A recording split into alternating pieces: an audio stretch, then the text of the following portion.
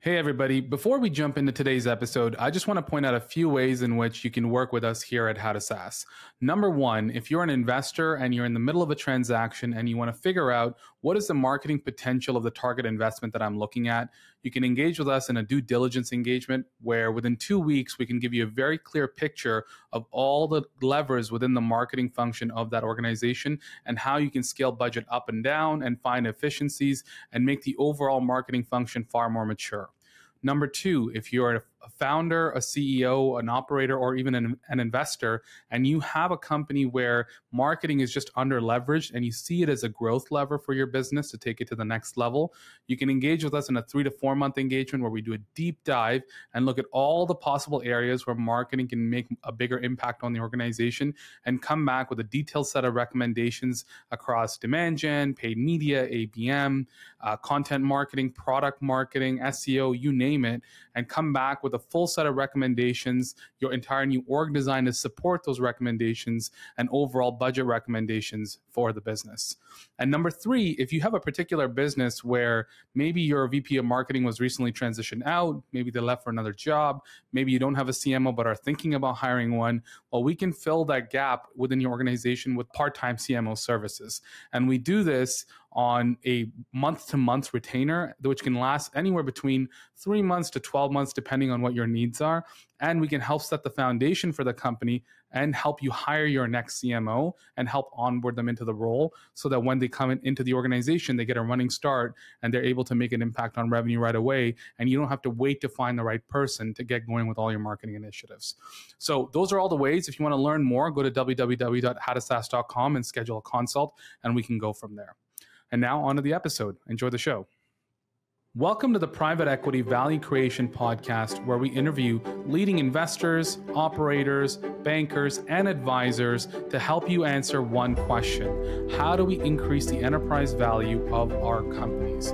My name is Shiv Narayanan, and each episode I will dive deep with a guest to help you become a better value creator and capital allocator. So, with that said, let's jump right in and let's get started with today's episode. My guest today is AJ Gandhi, and this episode was a phenomenal one. AJ is the Chief Growth Officer at Marlin Equity, and Marlin is one of the bigger private equity firms around. They invest in a ton of platform companies, they bolt on and add on additional acquisitions onto those platforms, and they have a pretty robust growth and value creation plan for those companies. And compared to other private equity firms, Marlin also has a larger operations group than most. And so that gives us some great insight into how they think about creating value once they get a company into their portfolio. So AJ and I dig into a ton of topics related to those portfolio companies and just companies in general in terms of how we can create enterprise value through through things like segmentation, through demand planning, through sales processes and playbooks, through pricing, through upsell, cross sell, and ways in which product can support all those efforts. So there's a ton of great content in the episode, and it's really a uh, a, a, deep dive into each of those areas. And there are many times when I felt like that's this conversation could have been a few hours long, so that we could, we could have gotten even deeper into each of those uh, subtopics. But for for the audience and, and what you're going to be hearing, there's a lot of great content in there in terms of how you think about value creation for your specific company. So I hope you take all of that away, and then we'll mention all the additional information in the show notes and link out to all of uh, Marlin's uh, resources there as well. So with that said, enjoy the episode.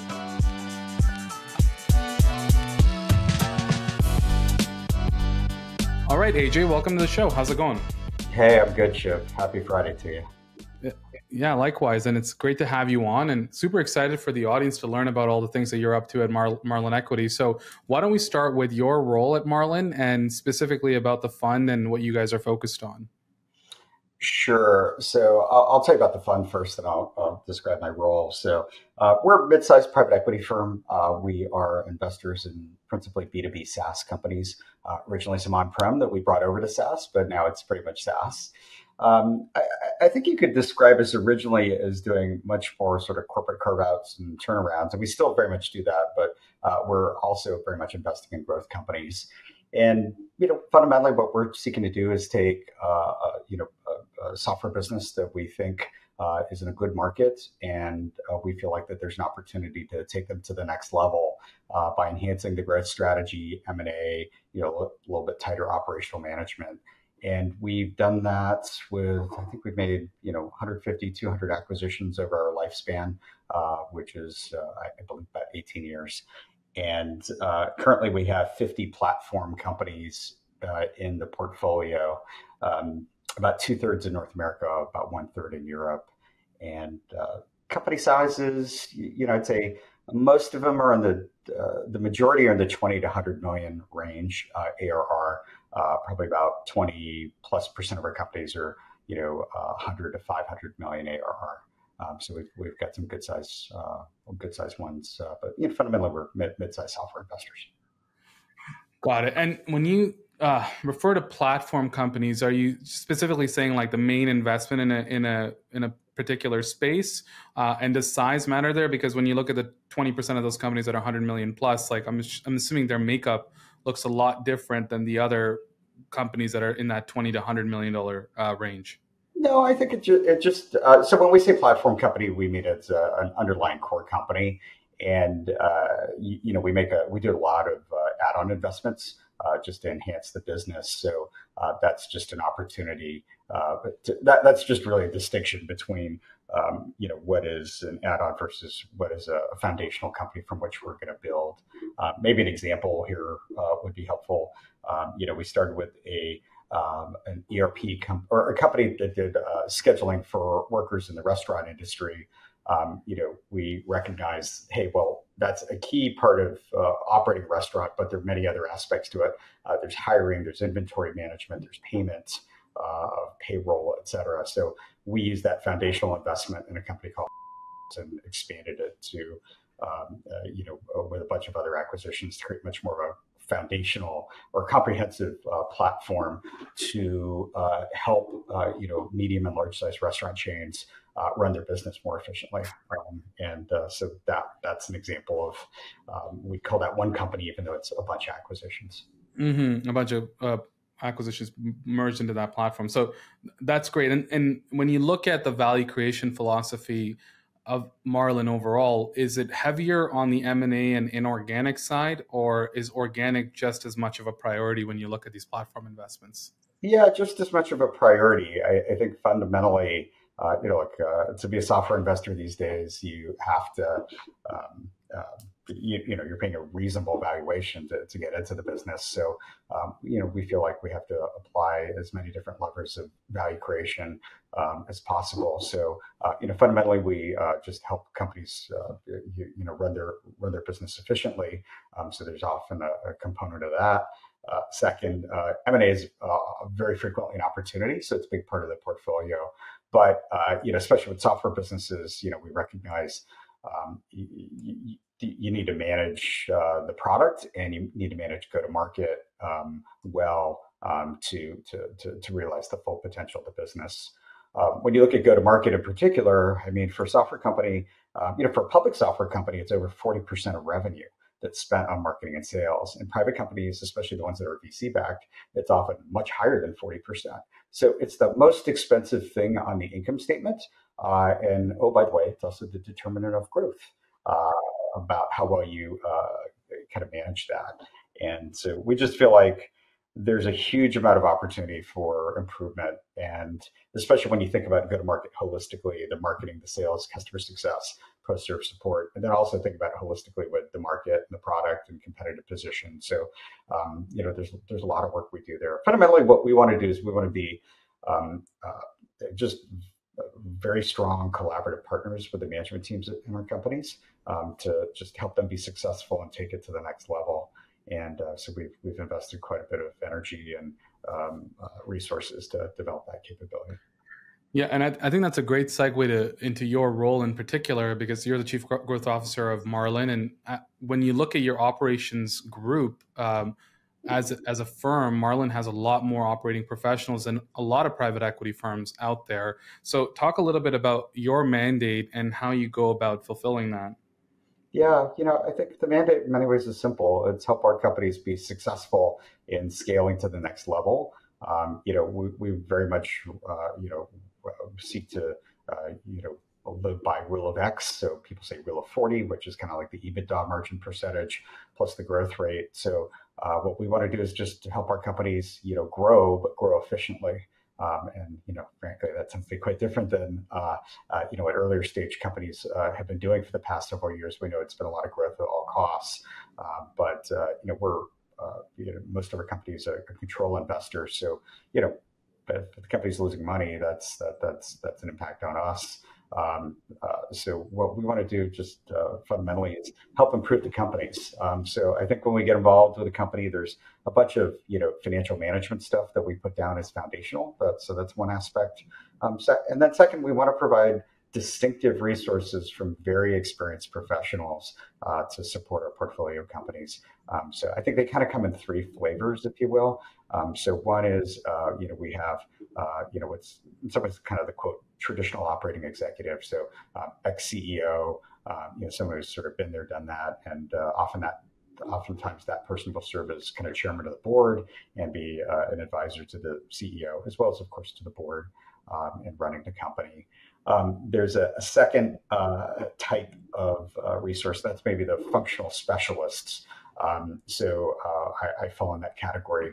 Um, you know, go to market product. Uh, you know, we even have some folks. Uh, one, one indi- uh, individual who is a um, you know you know just has a lot of expertise on real estate, um, and then of course you know we, we've got resources to help with uh, kind of talent and finance. So that's the functional specialists who go in and work with companies, and I can I can double click on that in a moment. And then third, there's another uh, kind of operating director type of role, which is in some ways is sort of the program leader role. Um, so when we uh, invest in a company, we'll work in tandem with the management team to create a value creation plan uh, and sort of a you know just basically a multi-year plan to you know uh, ensure the, the businesses, uh, you know, hit the next level of sophistication and growth, uh, uh, you know, sort of three to five years down the line. And so we have operating directors who um, basically uh, manage the full portfolio of value creation initiatives across the different functions. Um, so, uh, and then, you know, oftentimes those the, those individuals are also playing a, a lot of the financial management role as well. Got it. And when you look at all those different areas, right? Like I get the part about bringing an operating executive in, bringing functional resources. How closely tied do you get to the value creation or the investment thesis that went into the investment initially to figure out what to prioritize? And then how does that affect the resources that you're bringing in? Yeah, sure. Um, so it's uh, it's significant. Uh, is the short answer. Um, um, you know, first of all, we work very closely with our deal teams. So you know, uh, we've uh, you know, deal teams are always uh, you know they've always been very strong investors with a lot of expertise in go to market. So, you know, they were doing this, you know, well before I joined. But, you know, I'd like to think that we've helped them take it to the next level. Um, and we've kind of aligned on a, a, kind of a diagnostic approach for evaluating sort of strategy, operations, execution, talents in the companies. I would say most, uh, probably two thirds of the kind of the diligence process is run by the deal team. Uh, we tend to get involved towards the, you know, for, lack of better words, the last third of the process, just when we want to go deeper, when we when we're kind of a shortlisted invent, uh, you know, potential investor, or we're uh, we have exclusivity. Um, and uh, that's when we'll dive in. Um, you know, we've seen so much, so I think there's a lot of pattern recognition. Um, you know, we we know what, what are the you, you know what are the kind of key uh, kind of drivers, uh, key things to look at in a business. Uh, we just seek to root cause performance and figure out where the strengths and weaknesses are. Um, and then, you know, we've got uh, an understanding what are the typical challenges in the company. And they're pretty straightforward, to be honest, in the go market side. It's like, you know, new logo growth, uh, customer expansion, you know, pricing opportunities. Um, you know, scaling the sales team, scaling pipeline generation over time. Um, so, uh, and, and then, you know, of course, uh, kind of, uh, you know, getting a sense of, you know, does the management team have all the skills and capabilities needed to help the company succeed at the next level? So we look at all those things and then, you know, we can hypothesize a value creation plan very quickly, uh, just because, you know, we've seen so much. Um, so that's what happens in diligence. So we're part of the, uh, you know, the diligence process and developing the investment thesis in almost all instances. Um, you know, sometimes processes happen really quickly, so there have been examples where it's been different, but that's unusual. Um, you know, we, we seek to work together as a, a really strong team. Um, and then once uh, we do make an investment, um, you know, we work with the management team to actually go deeper to understand the business uh, uh, uh, at a more intensive level. Uh, you know, go deeper in the management team to understand it, and you know, that's our way of just you know fully getting a grasp of how we can be helpful, um, and then we. Um, uh, will work uh, in partnership with our management teams to um, actually uh, you know create a set of initiatives. There, there, are often some foundational things that we want to put in place that we put in place in all our companies, uh, and then we'll figure out what are the three to five kind of big needle movers. Um, and you know sometimes that's something management can do themselves. Uh, we provide guidance. Sometimes we get very hands-on to help them, um, and then on other occasions, um, you know we'll pull in specialized third parties, um, and uh, um, that's uh, and we kind of put that into a kind of a formal value creation plan and you know seek to execute against that and those three to five needle movers that you mentioned in your experience as you come into companies uh, regardless of stage or, or vertical or, or, industry that they're operating in or deal sizes that they're chasing uh, what are the most common needle movers that you have found or that you as as a group at marlin end up focusing on yeah, what I'll do is I'll, I'll you the foundational things first, Shiv, then I'll, I'll highlight needle movers that we often get involved with. There's certain things that we want to make sure that are really in place well. Um, and I'd call these more in the foundational category. Um, so the first thing to me is segmentation and targeting.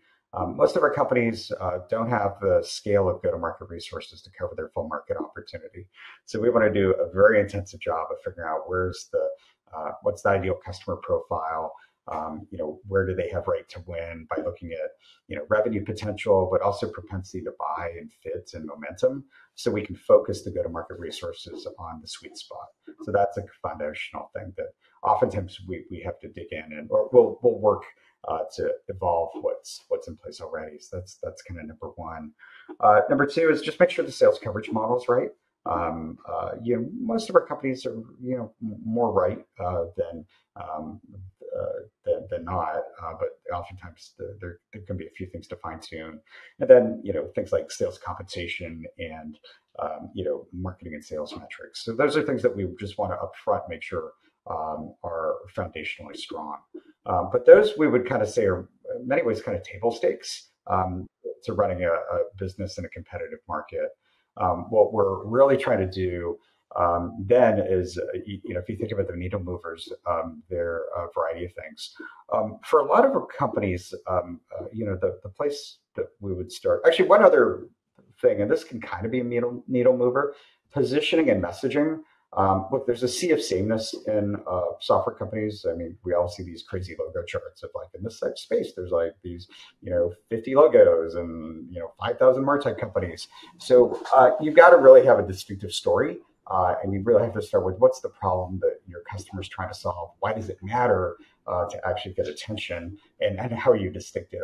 So that's that's a key thing to to, to nail. Um, another.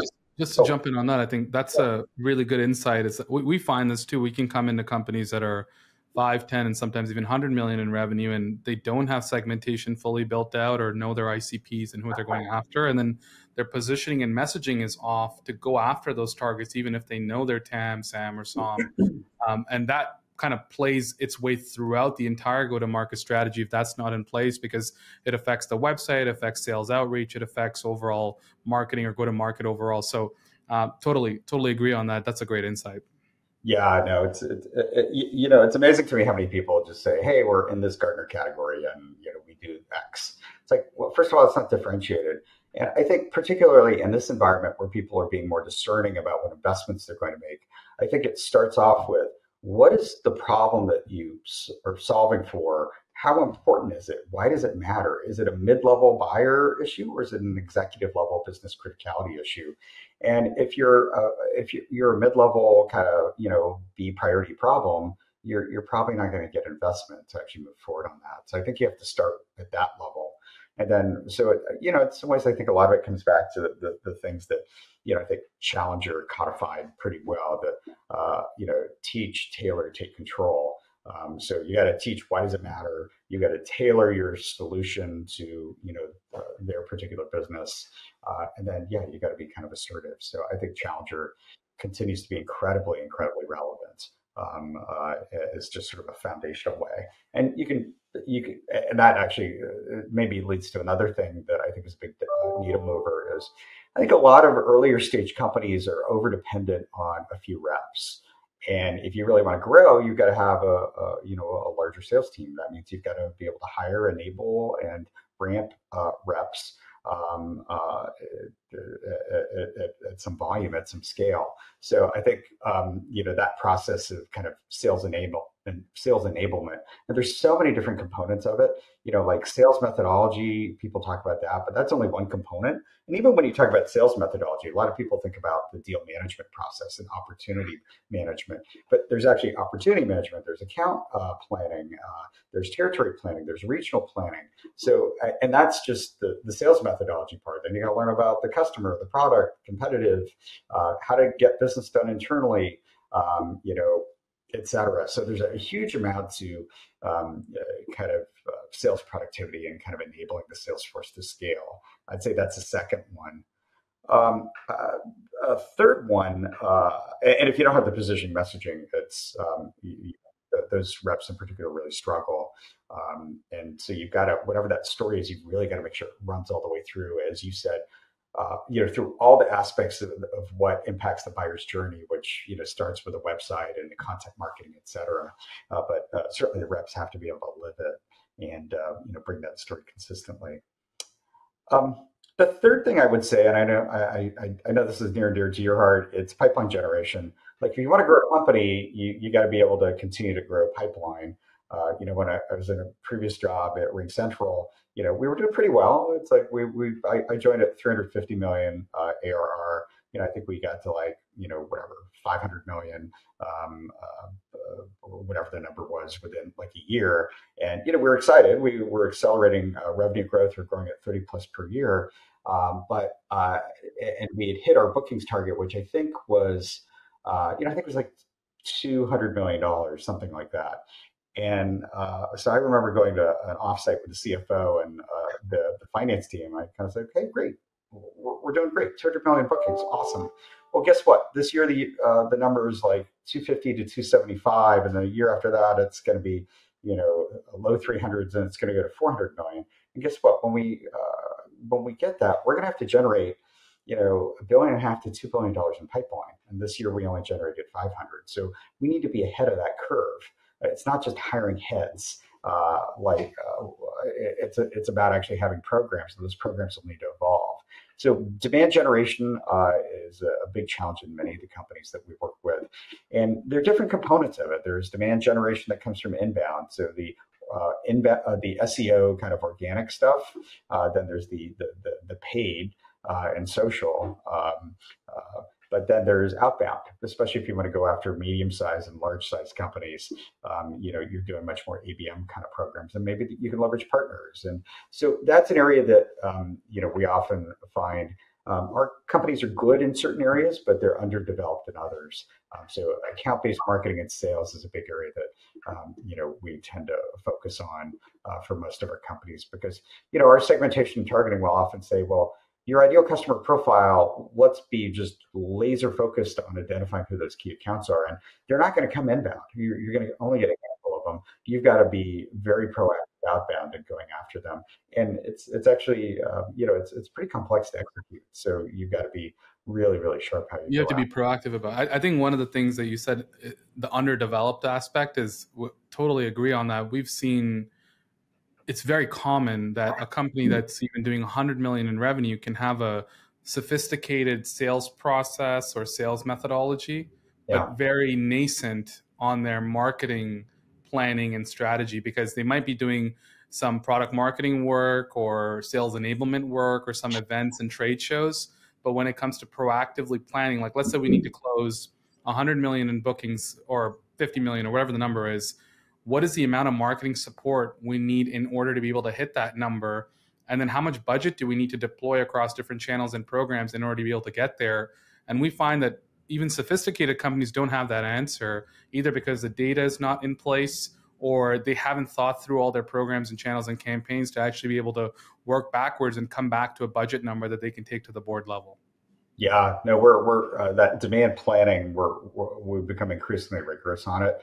Um, you know, we built out models uh, in partnership with our uh, portfolio portfolio company uh, uh, marketing teams as well as sales teams to just say, okay, well, you do the exercise of working backwards from bookings in the future of what you want to hit and when you need to generate that pipe and uh, how it's going to you know convert over time. But then applying that well let's do that by segment let's do that by geo let's think about that by channel let's think about that by program.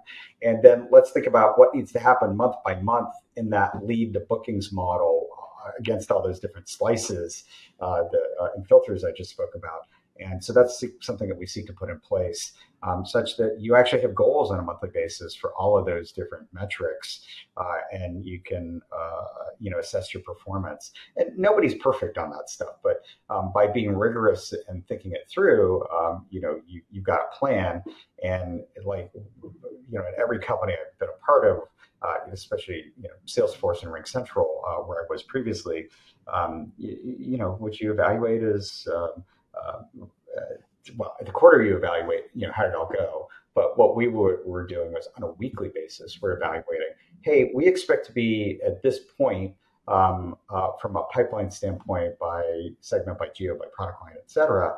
How are we doing? How are we tracking against that water line? And if we're off track, well, we want to be proactive um, to address it. So I think that kind of demand planning is a, the demand gen is really key. And then based on where they have sophistication on where they're lesser developed, that's where we'll you know support them. Um, oftentimes we'll pull in specialized partners for things like ABM, uh, just because it is a lot of uh, you know intensive, mm-hmm. um, you know detailed orchestrated work.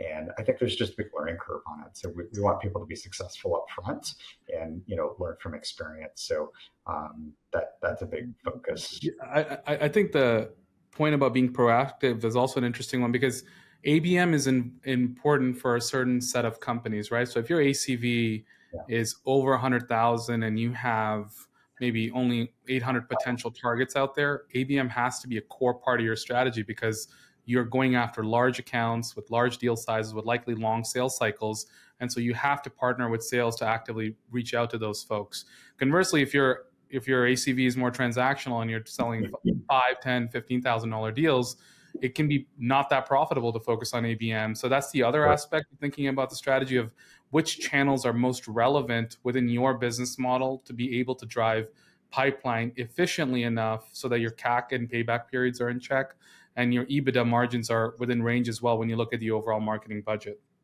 Yeah, to- totally agree. I mean, it starts with understanding where, where, where, do you play and what are the life cycle economics um, uh, of that. And, you know, sometimes it's, hey, we look at companies and they're doing too much in SMB, and actually you look at the life cycle economics on the cost to acquire, the cost to implement, um, and uh, you know what's the you know churn rate, and um, just the economics don't really um, um line up. So then you have then, you have considerations. Well, let's evolve the pricing model, or maybe let's shift a little bit more resources out market. So we're doing that with one of our companies right now, um, supporting the management team as they say, "Yep, we, we, we get it. We want to move more mid market um, enterprise." Um, and then, you know, we, we do have uh, quite a number of companies that are actually very strong in SMB, and it's you know more inbound driven.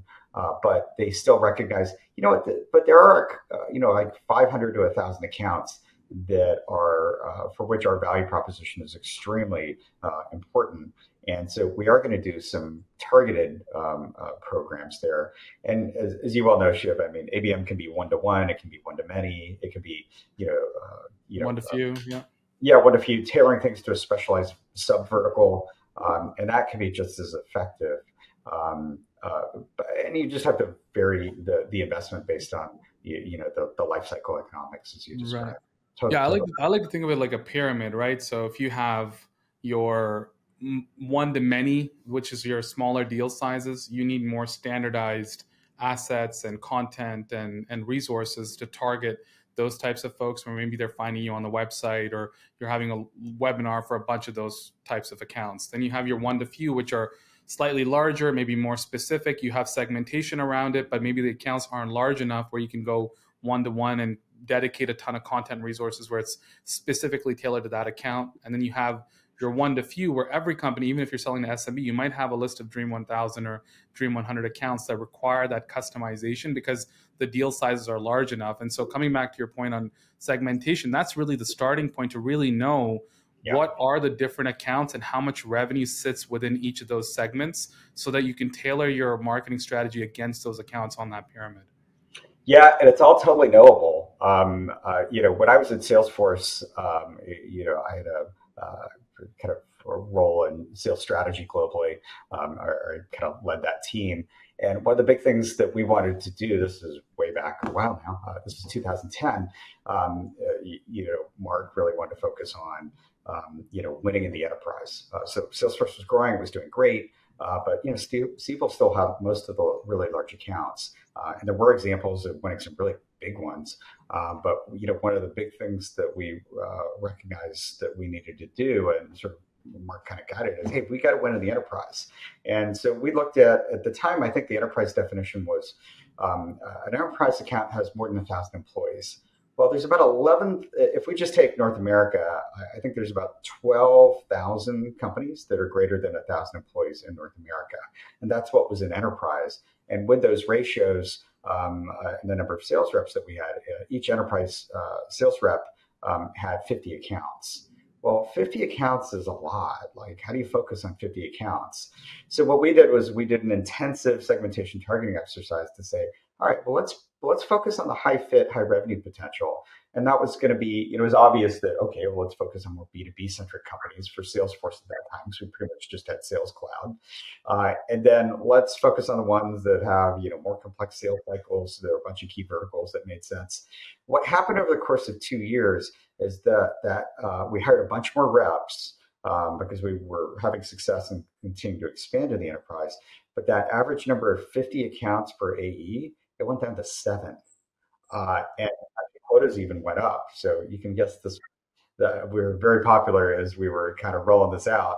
Uh, but um, it was just focused. And what we showed people was, hey, look, if you actually apply, we had these scoring models, and this is what we apply in all our companies at Marlin. If you actually look at it to say, we can perfectly predict um, or almost perfectly predict, you know, where you're really going to get your bookings. And it's frankly, it was pretty straightforward. Uh, but it was just explaining that to everybody and say, we're going to focus you. And then we actually had, uh, you talked about the pyramid, even for the sales reps, we, we had three uh, different levels within enterprise. Um, we had the tippy top where you actually had on average 1.5 accounts per AE. So in fact, you actually even had some accounts, like I think Wells Fargo at the time, had a lot of momentum. We saw a lot of opportunity in multiple buying units. I think we had multiple reps on uh, just a single account, Wells Fargo. So that was kind of like the tippy top, the strategics. The next level, uh, the reps had, I think, like seven, and then the the bottom tier of enterprise, they had 15, one five. Um, so it's just about once you figure out where the revenue potential, propensity to buy, and momentum is, you just focus your resources. So that applies, uh, you and the marketing budget paralleled that as well uh, to say, hey, we're going to put more energy on a quote dollars per account um, on the on the uh, you know the top tier versus the medium tier versus the lower tier.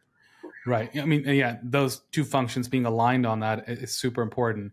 Um, what made me think of something as you were talking through that is just how how much of a focus, given that M&A is a part of your value creation philosophy, how much effort is being put into the upsell cross sell side and then also on, on pricing because that ends up be, becoming a way to expand those accounts or, or, generate more revenue from the accounts that we've already landed?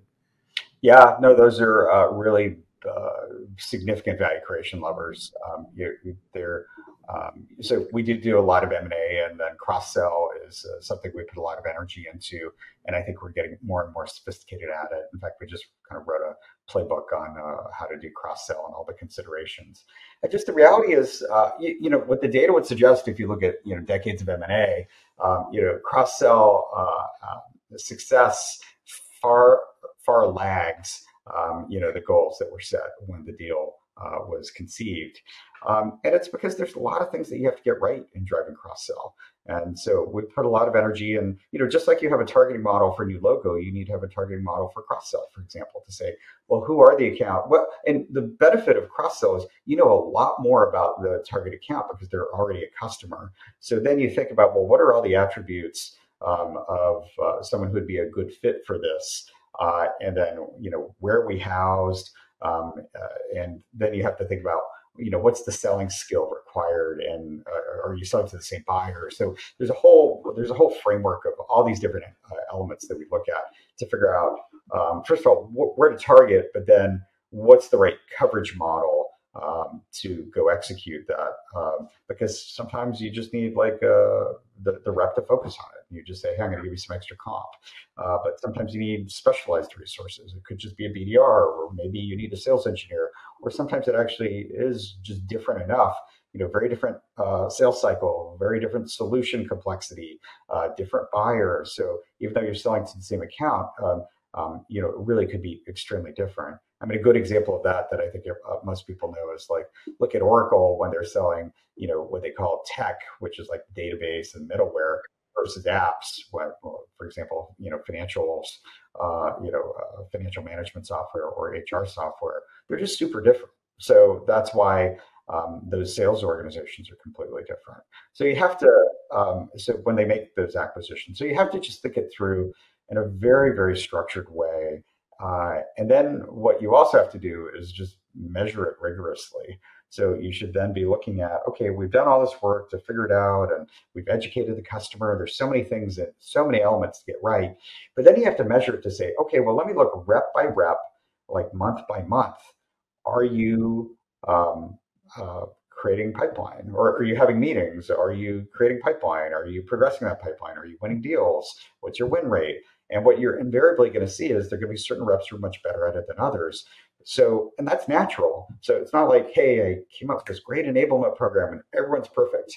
No, there's a huge learning curve. And so I think that's where, if you're really serious about cross sell, you have to be intensive uh, about huddling uh, on a continuous basis and the right frequencies weekly to say, how's it going? What's working? What's not? Who's doing it? Who's not? And then, you know, let's problem solve and strengthen it. So I think the companies that are just really rigorous and structured uh, and committed to it um, are the ones that um, have more success. But there's a crazy amount of variance in cross sell effectiveness. So that's a big there's some phenomenal insight there. I think your point about the industry data that says cross sells are often overestimated. I think that's a really great point because I think often when we're modeling, you look at a bolt on or an add on and you're like, obviously, our current customer set will be a good fit for this other product that we're buying but that doesn't always work out because maybe needs are different or the products are different or or the sales cycles are different. And i think that other point that you said that's i think worth um, highlighting is this internal segmentation work because we talk a lot about the external how big is our tam and segmenting that but within the existing customer base who are the who are the customers that would be ideal fits for the cross sell and upsell so that we truly understand the the white space revenue potential there because I think that's often overestimated as well. Um, and then the other piece that jumped out is that I think there's a lot of work that needs to be done on the product side and the packaging side to actually make it worthwhile that even even if you have a good fit customer sure. you kind of have to approach them in the right way with the right kind of offer right kind of offer and then also you have to of course there's a whole product element to this too of like uh, you know, is it, um, you know, is the product really well integrated? Um, and uh, and is it a good, uh, you know, customer user experience? I mean, I think there, uh, I, I, won't pick on companies, but you know, I see a lot of go-to-market software uh, companies uh, and you know, like there's this one company in the sales enablement space that's made this really smart acquisition um, of a complementary capability. But then when you get to the product, yes, okay, great, it's one login, but then it takes you to a separate page. Uh, so like having two apps on two tabs, and it's just not fully done. And look, you, you, there, there, are short-term and medium-term and long-term implications of, of product. You don't get product integration overnight, but obviously that's a that's a huge component as well. Yeah, yeah, that, that's that's great. Um, and then last thing worth touching on is just pricing. So tell yeah. us about like how much work are you doing into that, and what type of analysis is going into creating value on the pricing side? Yeah, so pricing is a huge lever, and I, I think most uh, um, you know, private equity companies get that as well. So we've been um, we, have been quite um, uh, structured in terms of uh, kind of going after it. Um, what we have done in particular is. Uh, um, we, we actually, well, first of all, I, I, our companies get it, and so they, they've been pretty proactive on it. And there's uh, there's a variety of different opportunities. Uh, I, I, think the issue is, well, first of all, why is it uh, such a compelling lever? It's because if you uh, you know make a change in price, aka raise price um, by one percent, it basically flows to the bottom line. So in a ten percent EBITDA company, raise price by one percent, you can have uh, you know pretty close to eleven percent EBITDA. Uh, so that one percent drives a ten percent EBITDA increase. So that's pretty cool. I, I think most people kind of like that. Um, but uh, but companies are also just you know want to be very mindful to um, you know raise prices in a a smart way, um, uh, and uh, they're not often that experienced in how to do it. So we, we see the the typical bias is um, companies are more timid uh, about changing pricing or raising pricing, and that really limits um, their long term growth potential. Um, and we feel like that's a huge opportunity for us um, to to help them. Um, and so we actually have done a you know we, we did a big pricing assessment across all our 50 portfolio companies uh, last year and found a bunch that uh, we could help further. They were already doing quite a bit because this has been a focus for us. But it starts off with pricing strategy. So you want to align the pricing model with how the customer gets value. Uh, and then you want to be mindful of, um, you know, you, you might tier that based on different customer segments. Um, um, or different uh, you know product capabilities. So without going super deep there, you start with pricing strategy um, to get a sense of what makes sense, and then next you go into a pricing model uh, design. So you know what what is the metric that's actually going to determine pricing? Is it is is it a seat? Is it usage of some sort? Um, you know there um, you know there's all kinds of different metrics that you can apply and then you know how do you structure them? How does it scale um, uh, with um, you know greater uh, for lack of better word usage by the company? And how do you measure that? Um, and then third is price setting. So uh, thinking through what's the value to the customer um, you know how do you uh, you know uh, match versus competitors uh, and your offerings aren't going to be identical so you need to calibrate for you know some competitors might have a more complete offering some might have an error offering. So um, it's it's sort of uh, how do you communicate your price differentiation? Um, and then when you're doing these things uh, these are big decisions so there's a lot of testing that you can do uh, and then once you uh, to, to make sure you get it right if you're making changes and then once you run all this through like execution of the pricing program is huge. So um, how do you communicate the business value? Um, you, you, know, the best way to communicate price. Like I, I was in management consulting, um, uh, so uh, at a particular firm, I had a client. Um, when they found out what our prices were, they were just mortified. I was with, with, one of the top strategy firms. They were just absolutely mortified. It's like, I can't believe that's what you charge per month. Uh, and they're like, how on earth could you uh, justify that? And what we showed is, hey, well, we'll do some diagnostic work and we feel like we can get a 10x EBITDA uh, versus our fees um, uh, because we see all these different opportunities that we've seen before. So suddenly it's like, oh, wait, so I charge, you charge me a dollar and I get $10. Um, and because we could help them save tens of millions of dollars, we charged them many millions of dollars. Um, and it was a win win. Um, so how do you do that? And then, of course, you got to flow that all the way through contract terms, et cetera. And then there's a lot of pricing governance work uh, to make sure that you're actually, um, you know, being mindful where you do discounting and how, you know, how deals are reviewed, especially when the big ones, um, what kind of terms, how do you get feedback from the market about when price is working versus not working? So there's a lot to pricing. Um, and just being, you know, uh, holistic and sort of thinking through pricing strategy is really important. So that's something that we focus on. Uh, and oftentimes we'll pull in a partner to do it because there are specialty pricing firms out there. Um, we, we have the capability to do it, uh, and we'll play a role in overseeing the work. Uh, but we find it helpful to um, you know pull on an, uh, an expert because there's a lot of specialized analysis and customer interviews that you got to do too. Yeah, yeah, I, I, think you touched on a bunch of great points there. I, I think in general, a lot of solutions are are underpriced for the value they bring. You you mentioned this idea of value based pricing, which is the consulting model. Like thinking about the value they bring. Mm-hmm. That's kind of how we think about our consulting fees as well.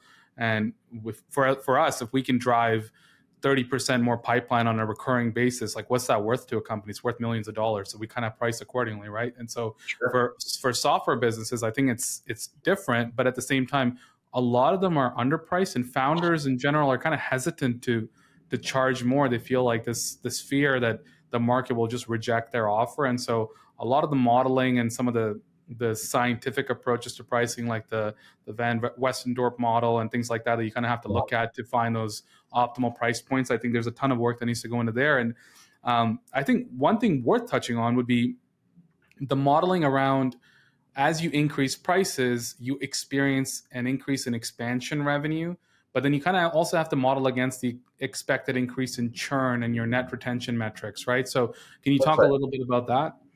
Yeah, so I think as you highlighted, there's a bunch of specialized uh, analytical techniques to, to, to go do this. Uh, but yeah, you want you want a model, and you could at a simple level, you could say it's scenario planning to say, hey, if I um, you know raise price by and you know price increasing is uh, uh you know a meaningful uh, strategy. Um, and you can do it because you, you, are providing value and you have that opportunity.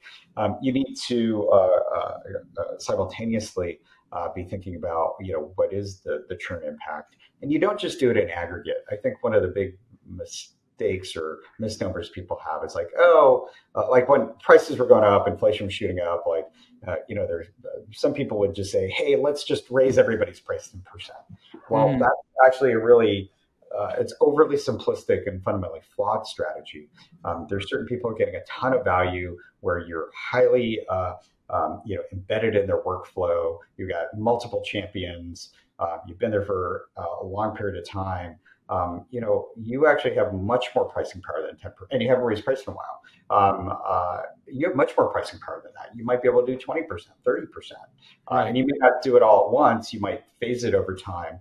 Uh, and then you have, might have others who are, you know, more cost sensitive or they've had some, you know, uh, uh, you know delivery issues or there's been a change uh, in kind of your you, have lost your key sponsor um, and or you know so there are just other factors to think about uh, to segment it and you might want to be more conservative uh, in uh, the price increase for them. So that you know that just raise everybody by x percent we, we think that is generally a very flawed strategy that will underperform. But you got to model it out to say, well, what are the relevant seg- what are the attributes to think about? Let's divide those into segments, and then let's have a scenario plan that says, all right, if we make this percentage change in price, what do we think the the potential um, you know uh, churn rate is going to be, and how will it change? And let's compare those dollars um, uh, to say, well, how much money are we getting on the price increase uh, versus the dollars that we're losing on churn? And you just have to run that analysis through. Yeah, and, and test and, and constantly measure. So, um, so I know is a, is a big opportunity, uh, especially more PLG, B2C, SMB-ish kind of businesses yeah. too. Yeah, and especially with that EBITDA impact, it's usually one of the top three revenue drivers or in the, in, in the investment thesis. So uh, thank you for the insight on that. Um, I know we're coming up on time, so I, I just want to just summarize all the things that we kind of talked about. We talked about segmentation, the sales coverage model, positioning and messaging, the go to market, and and the pipeline generation side of it, the demand gen, cross sell, upsell, and obviously pricing. And I think this was a phenomenal conversation. So thank you for your insights on that. Um, for for the audience, if they want to learn more about Marlin or or the work that you're doing, where can they go to get more information? Um, you know, marlinequity.com is, uh, is a good place to go. Um, uh, that, that gives a, a, little bit of a sense of us and, uh, you know, lot, lots of good professionals uh, uh, to, to contact at our firm. What we really seek to do is, you know, we actually follow companies for uh, companies that we like for, for years and build relationships with the management teams. Um, and just you know talk about how we can help them. And fundamentally, we see ourselves as business partners uh, for uh, for growing companies. And uh, you know, uh, so you know, I, I, work with a, really wonderful set of colleagues. So I'd invite you to um, you know please get to know us and. Um, uh, no, it's been a pleasure, Shiv. And I think we we touched on a lot of great stuff. We, we have 40 value creation levers for go to market. Um, I think we hit on the, uh, the, the, the, the, top ones. So I, I think uh, um, you, you, and I are aligned on that. But there, there's other stuff too. There, there's there's tons of other stuff. We could do like a four hour session on that. So, uh, but we'll be sure to put up links to Marlin Equity on on the podcast notes. So uh, thanks for that, and we'll share the any other resources that you want to include for the audience so that they can follow up and, and get in touch as well. But overall, AJ, thanks for doing this. I appreciate you being on.